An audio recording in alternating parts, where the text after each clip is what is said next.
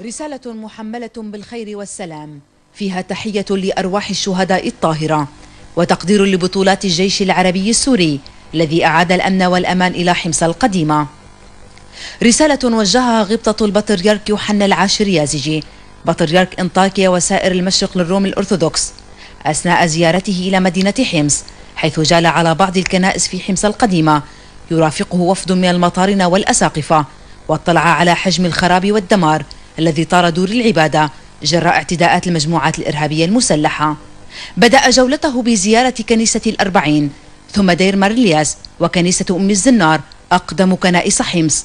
بعدها زار كنيسة سيدة السلام وكنيسة مارجرجوس والكنيسة الإنجيلية الوطنية وكنيسة الموارنة وكنيسة السريان الكاثوليك. ثم زار بعد ذلك غبطة البطريرك والوفد المرافق له دير الآباء اليسوعيين وصلوا صلاة جنازية لراحة نفس الأب فرانسيس فاندرليخت الذي اغتالته العصابات الإرهابية المسلحة.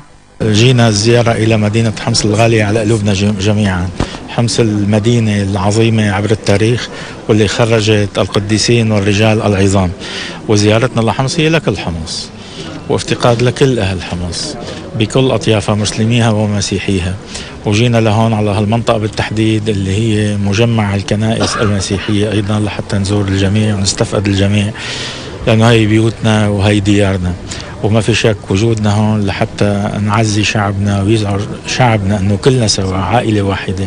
ومع بعضنا البعض وعلى الأمل القريب إن شاء الله اللي بترجع على المدينة الخراب هالدمار اللي شايفينه اللي لا يقبل به لا دين ولا إنسانية.